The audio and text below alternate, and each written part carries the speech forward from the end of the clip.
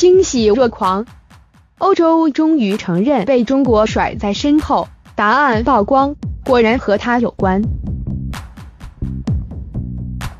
诸葛小车军情观察第两千零五十五期。近日，欧洲终于承认欧洲在一个重要领域落后于中国，答案果然与无人机有关。对此，一些中国军迷惊喜若狂，称欧洲最新推出的高空大型无人机已被中国降龙、神雕无人机甩在身后。欧洲想要技术。那就拿钱来买。而很多西方媒体则称，美国多个盟友已经承认在无人机领域被中国赶超，并转向中国，跪求中国分享无人机技术。这实在是中国人扬眉吐气的大事。近些年。无人机成为军民许多领域的一个异军突起的重要空中辅助工具。中国已经崛起，都成为世界上数一数二的无人机研制、生产和消费大国，但欧洲却在这一领域严重落后于中国。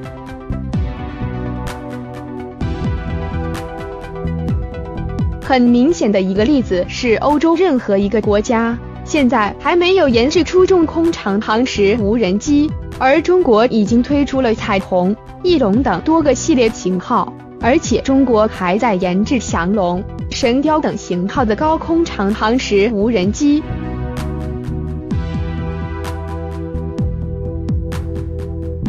图为美国全球鹰高空长航时无人机。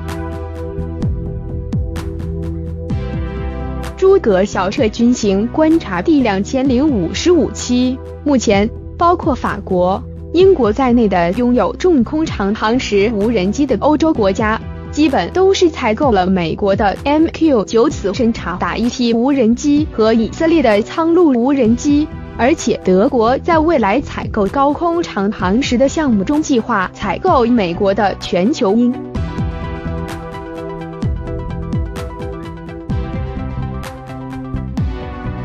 这让历史上曾经不可一世的欧洲人情可以堪啊！于是，在不久前的柏林航展上，欧洲防务企业中具有核心科技的德国、法国、意大利和西班牙的空客、达索和芬美卡尼卡三家公司联合推出了一个高空长航时无人机。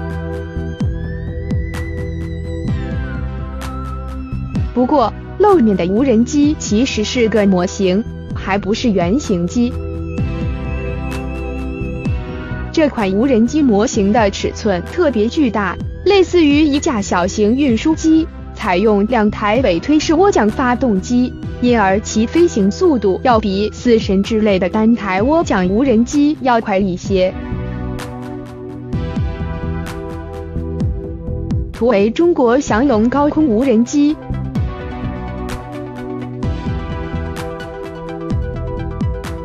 格小车军情观察第两千零五十五期。这样看来，欧洲人确实有点急眼了，他们肯定不想再为人后了。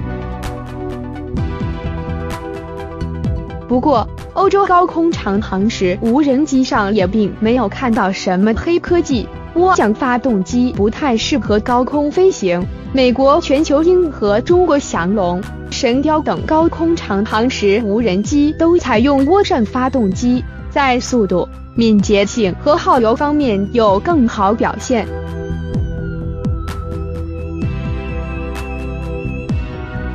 不过，由于欧洲这款大型无人机目前还只是模型，想必最快也要到二零二五年才装备部队。到那时候，中美等国的无人机又会更上一层楼。看来欧洲还要继续追赶了。